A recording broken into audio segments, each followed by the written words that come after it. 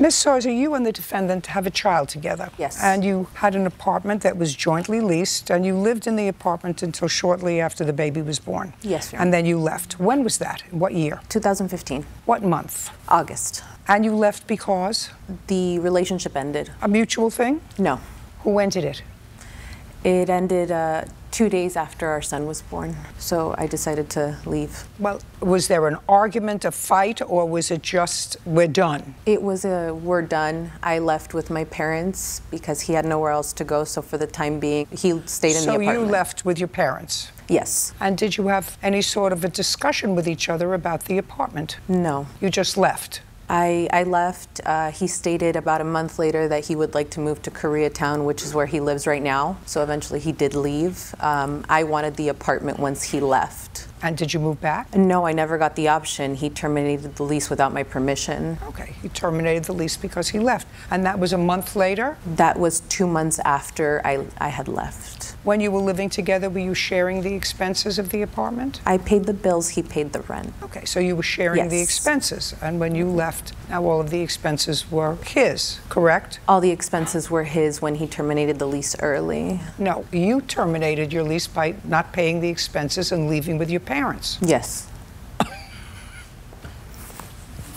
You moved out. I mean, as it happens, is between the landlord, you both terminated the lease early, and there was an early termination fee, which is what she wants. She wants you to pay half of the early termination fee. You did, in fact, terminate the lease early, correct? I did terminate the lease early, but Did you uh, pay an early termination fee? no, because I was um, forced to leave. I, I didn't want to leave. I could have stayed there, and she could have avoided those expenses herself if she would have signed off her lease. But she refused to do that. That's Well- not the way that it happened, Your Honor. Just a second. So, Ms. Soiza, after you moved out with your parents, did you ever return to the apartment for five minutes? yes. How often? We were visiting with our son. No, no. Probably one- How often did you return to the apartment? once a week. Did you always come announced? Yes. There was hmm. only That once was- that I came unannounced, and it was to get my furniture. And on what date did you come to get property? I don't recall the exact date. It was August 24th when she moved out and had her family help her move all this. Just a second. But she left the beginning of August? Yes.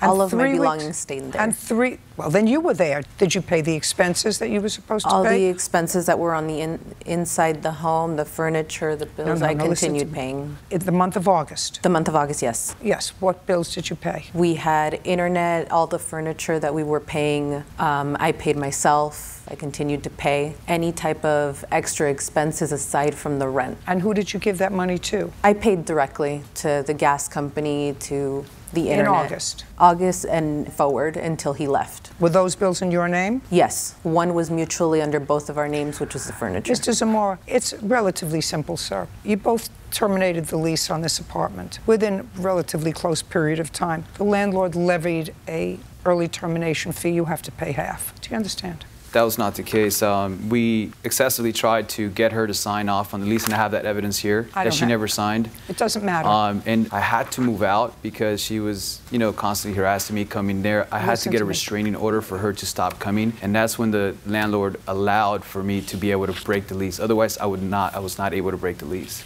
Do you have proof that you got a restraining order to keep her out of the house? Yes. I I'd like have to see it. It was a temporary restraining order that was I don't care. I don't care. It just belies your story that you had just appointments to meet once a week for visits.